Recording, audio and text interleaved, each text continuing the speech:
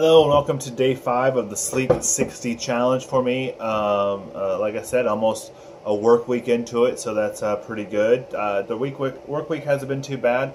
Um, you know, a couple of adjustments I made. I moved drinking my Slique Shake till uh, midday instead of drinking it first thing in the morning. I felt like that helped me with my appetite more so if I have like a bowl of cereal in the morning and then have the Slique Shake for lunch, basically.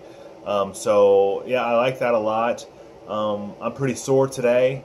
Um, instead of going to the gym, I played pickup basketball, which is ironic because on the lifting machine I felt like I did a really good job, but once I got on the basketball court, I realized I am completely out of shape, and um, I thought I was going to die that first uh, that first game and throw up.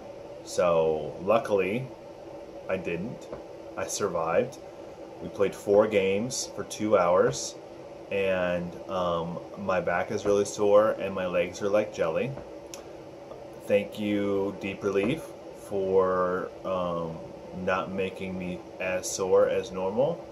And next time, I will be also ringing my breathe again um, to make sure I can get some oxygen in my lungs because they were burning pretty bad. So, so yeah, that's an that's a week thing. It's something I haven't done in 15 years, played basketball, so it was a lot of fun. Um, I'm a little really rusty and it showed. So, besides that, the other thing I, I, changed was I didn't have any bananas, so I did the, the Slique shake without bananas. It's just strawberries, peanut butter, vanilla, almond milk, and the Slique shake uh, mix.